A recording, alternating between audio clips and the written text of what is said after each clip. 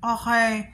So, pumunta ako doon sa LBC and sinabi ng LBC na hanapin ko raw yung cargo na yun sa ibang LBC and uh, ang tagal na noon, ang daming branches na ng LBC. Punta ng ganito, punta ng ganyan. Pinuntahan ko, wala naman. So, parang napagod lang ako. Ewan ko paano na makukuha yung NBC tapos yung identification uh, sa City Hall ko pa yung pinuntahan eh.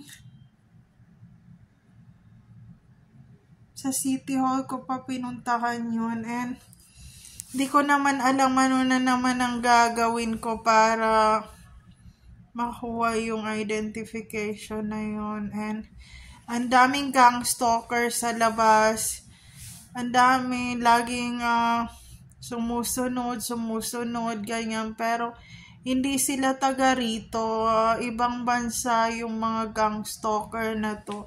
Eh, nangyari na to noong 2012. Mas malala pa nga yung nangyari sa 2012 ta- talaga din.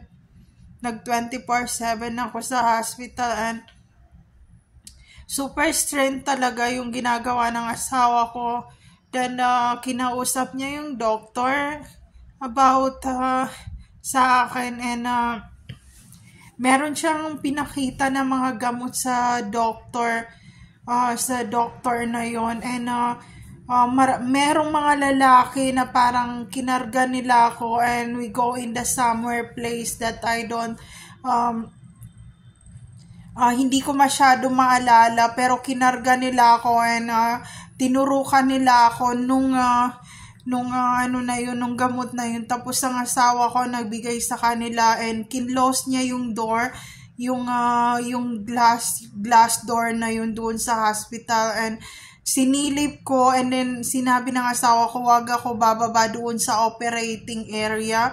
And um, gusto kong bumaba at, at yung mga anak ko kasama rin doon sa operating area. And then uh, nagising na lang ako umaga, nakadestros na yung kamay ko. Hindi ko alam sa niya ako dinala.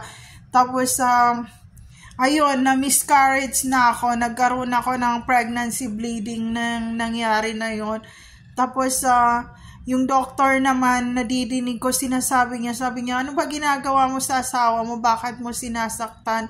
And, um, sabi ko naman sa kanya, bakit mo kasi ako sinasaktan and who's the one give you the permission to, to give uh, medicine uh, na ano na yan, ng medicine na yan. Kasi sabi ng doktor, Sir, hindi ko po kaya ilagay ito sa kanya kasi yung gamot na to ay hindi po kailangan ng asawa nyo. And nadinig ko yung mga usapan nila and then sinabi niya na uh, nadinig pa ng asawa ko yung usapan and sinabi ng doktor na wala siyang nadinig kasi yung naka noise counseling yung uh, yung glass ng door ng hospital.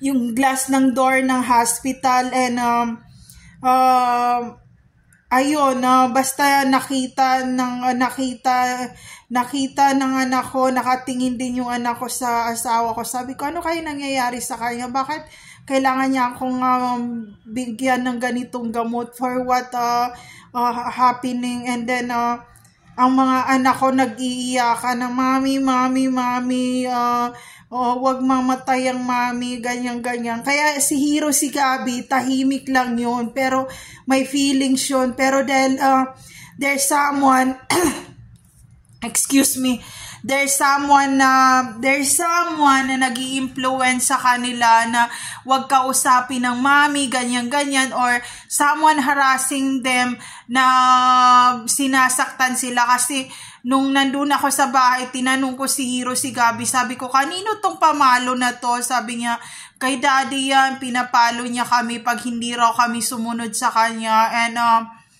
sabi ko, oh, grabe naman. Sabi ko, bakit pinapalo ang bata, ganyan-ganyan. But there's something happening. Um, kasi nga ang nanay ko, yung nanay ko na pinost ko, nagkaroon siya ng problema.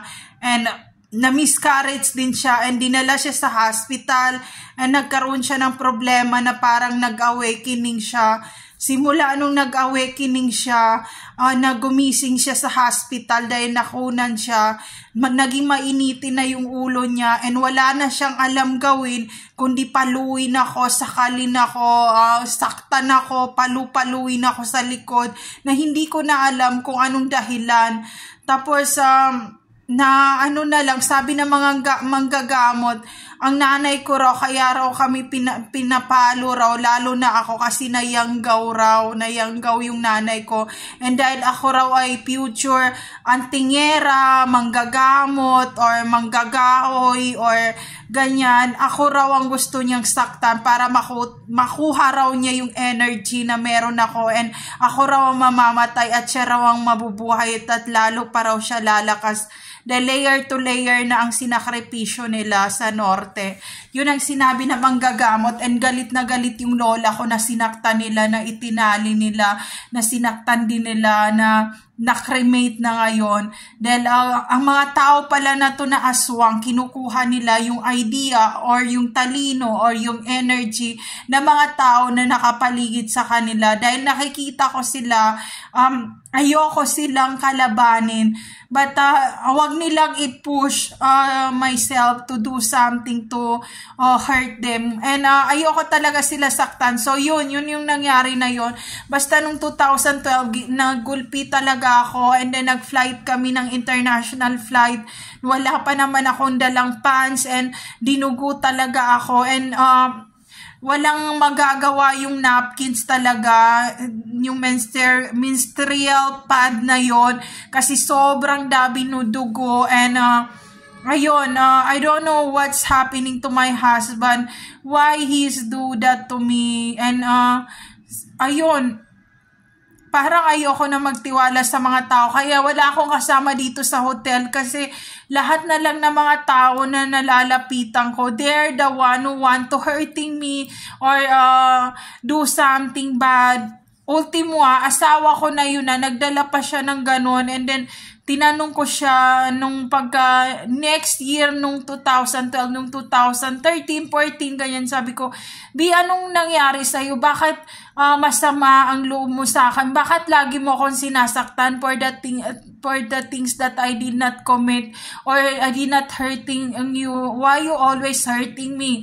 And then um meron siyang katawagan sa phone, uh, meron siyang meron siyang kausap sa phone uh, na someone that said na kumusta na siya, kumusta ng asawa mo, ganito ang gawin mo, ganito mo siya saktan, ganyan ganyan ganyan. Uh, ganito ang gusto kong ganyan na gawin. So, yung neighbor namin, meron silang shielding, shielding frequency dahil sila ay programmer din. And then, inaware nila ako, kinausap nila yung bantay, sabi niya, okay lang, okay lang si Jasmine, uh, ganyan-ganyan. Galit na galit yung mga security doon sa building. Kasi uh, alam ng mga security na teenager pa ako doon sa area na yun. And nag, doon na ako tumanda, doon na ako nag-adult And 20 years na ako doon, nakita nila kung paano ako nag-teenager, nakita nila paano naging teenager ang mga anak ko, nakita nila paano kumulubutang mukha ko, nakita nila na, nakita nung bantay na yun na, uh, uh, kailangan ko nang umuwi kasi nga 20 years lang nakalipas and lagi ko sinasabi doon sa bantay na sabi ko we don't have a house in the in the Philippines and uh, we still poor. And uh, yun yun ang lagi ko sinasabi. Kaya yung asawa ko sinasabi niya sa akin uh, it's too much close na raw doon sa security ng building. Yun ang sinabi niya sa akin it's too much close na raw kami. Sabi ko hindi siya close he is a, a concerned citizen that always always asking why I'm always crying or shouting and why I'm so emotional. So ayun kasi siya rin nagsabi na umuwi na ako para hindi ako masaktan kasi yung mga mga pulis uh, nabibingi na nabibingi na sila sa akin and lagi sila nagpi-paging na uh, sino ba yung umiiyak na yan sa area lalo pa nung nagka ano talaga nagka-COVID konting iyak lang pinupuntahan nila and ayo ako, ako lagi ang nagiging emotional na umiiyak. Kaya ako lagi sinasabi ng ng uh, bantay na pabehavein mo ang bibig mo. Ano ba problema mo? And then uh, dahil uh, matanda na siya and then nakaedad na siya, nagpaalam siya sa akin, sabi niya, uh, uuwi na ako kasi senior citizen na ako. And paano ka na? Paano ka na? Ayaw mo ba umuwi? Ayaw mo ba sa Pilipinas? Ayaw mo ba mag-aral? Kasi concern lang kami sa'yo. And then sabi ko, wala naman akong pamilya talaga and wala pa akong tiran and wala pa akong trabaho. And pinagtatawanan niya ako. Sabi niya, ang tagal mo na dito tapos wala ka pang, wala pa kayong bahay doon. So saan kayo nakikitira? Sinabi ko, nakikitira pa rin kami sa biyanan ko, ganyan-ganyan. And then, um, uh, nung time na yon sabi niya, namatay na yung biyanan. Kasi sinabi ko sa bantay na yun, sabi ko, namatay na yung biyanan ko. And then, um, sinabi nung bantay na, sinabi niya sa akin, oh, kumusta naman? Umiyak ba ang mga kamag-anak sa burol? Ginanyan-ganyan niya ako kasi kinumusta niya si Hero eh. Close siya kay Hero eh. Tapos uh, sinabi ko sa kanya na, sinabi ko sa kanya na uh, umiyak naman tapos sabi nung bantay fake people of the world. Gumanon siya sa, uh, sa uh, gumanon siya sabi ko bakit fake people of the world? They are acting that they are concerned to you but they are the one who hurting you because in this neighbor their family also in in the neighbor at uh, 3 to 4 kilometers in the area. Yun nagsinabi niya sabi niya and they're always laughing videoke uh, uh, Jasmine is shit Jasmine Pussy, Jasmine Coward, and uh, this is sister. I'm telling you right now because uh, this is the, uh, I go back to my country now. I'm so concerned. They are so fake to you. They are not concerned to your uh, health. They are acting like they are concerned, but they are all contractor perpetrators who around you in this neighborhood. Kasi security siya doon, and then nasaktan ako. Pag uwi ng asawa ko, nag-acting-acting na, sorry, ganyan-ganyan, nadidinig narinig ko naman eh, nagbibideo ako sila sa kabila eh. Puta ina mo! Tang ina ka, hayop ka, putang ina ka, huwag ka magpakita sa akin ha. Yung mga security mismo sa anong, wala kang disiplinang puki ka, putang ina mo ha. Binabastos mo ang YouTube channel ko, nire-respeto ako ng mga taong nakapaligid sa akin. Ultimo ang mga security guard concerned sa akin. Hayop ka, saan mo ako dinala? Anong purpose mo? Ba't mo ako dinala sa hospital? Ultimo yung doktor na yon sinabihan niya ako Ayup ka, huwag ka magpakita sa akin talaga, mapapatay kita! Ayup ka kasama ng putang inang nababaliw mo utak, hayop ka! Alagaan mo mga bata pag once may nakita ko na link about sa mga batang yan na kay Gabi, magtago-tago ka na hayop ka. So ayun, hindi lang ako nakakakita, pinangalanan ko na kayo dito sa YouTube na to, magtago-tago ka na. Pati yung mga ibang lahi, nalalaman na meron kayong sikretong kayurakan sa mga tao, hayop ka. So ayun, there's no safe place to all targeted individual out there. Take care always everyone! Wisit ka, nakakagigil ka, hayop ka. Lumayas ka na dyan